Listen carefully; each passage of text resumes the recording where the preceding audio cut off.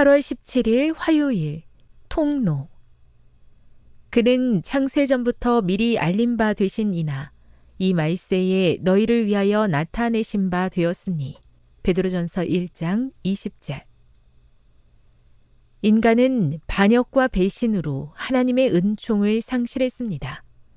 권리를 상실한 게 아닙니다.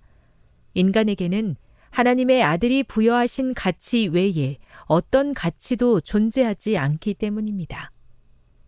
자비로우신 하나님이 거저 주셨던 특권들을 인간은 잃어버리고 말았습니다. 하나님 나라의 율법에 순종하기를 거절하는 순간 그는 하나님의 정부에 불충실해졌고 하나님이 은혜로 주신 모든 복을 누리기에 전혀 부적합한 자가 된 것입니다. 이것이 죄로 인해 하나님과 분리된 인간의 처지였습니다. 그럼에도 인류가 멸망하지 않은 이유는 사랑하는 자기 아들을 하나님이 선물로 주셔서 인간이 지은 죄의 형벌을 대신 받게 하셨기 때문입니다. 그리스도께서 인간의 보증인과 대리자가 되고자 제안하셨기에 인간은 비할 데 없는 은혜를 얻었습니다.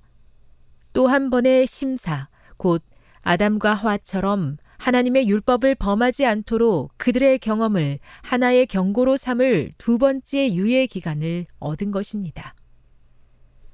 햇빛과 양식이라는 선물로 하나님의 은혜를 받고 사는 인간은 이 모든 것을 주신 하나님을 인정하고 감사하며 머리를 숙여야 합니다.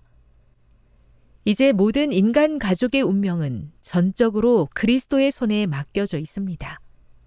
그러므로 돈이든 가옥이든 토지든 생각하는 능력이든 육체적인 힘이든 지적인 재능이든 현재와 미래의 삶에서 우리가 소유하는 것은 무엇이든지 인류의 유익을 위하여 충실하게 활용해야 할 하나님의 보화로서 맡겨진 것입니다.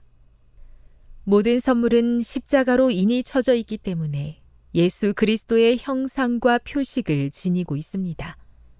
모든 것은 하나님에게서 비롯합니다. 가장 작은 이득으로부터 가장 큰 복에 이르기까지 모든 것은 하나의 통로, 곧 헤아릴 수 없는 가치를 지닌 피가 뿌려진 초인간적인 중재를 통하여 흘러옵니다. 왜냐하면 그 피는 하나님의 아들 안에 있는 그분의 생명이기 때문입니다. 그는 창세전부터 미리 알림 바 되시니나 이 말세에 너희를 위하여 나타내신 바 되었으니 베드로전서 1장 20절